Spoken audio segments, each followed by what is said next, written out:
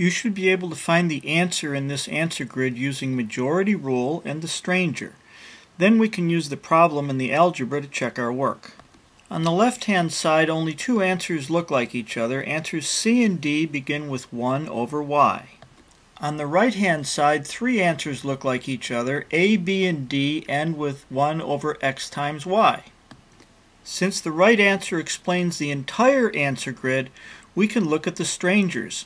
One of those strangers just looks just like the right answer, but it's backwards. Now we have our right answer that was part of all our groups.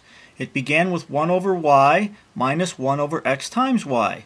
And answer E was the same answer, except it was backwards. Now let's check our answer by doing the problem. If x times y does not equal 0, then x minus 1 over x times y equals...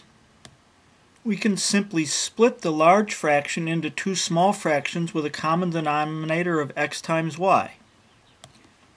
Now we can simply cancel the x's on the top and bottom of the left-hand fraction and come up with our right answer d, 1 over y minus 1 over x times y. Testing for the public. Non-profit since 1985.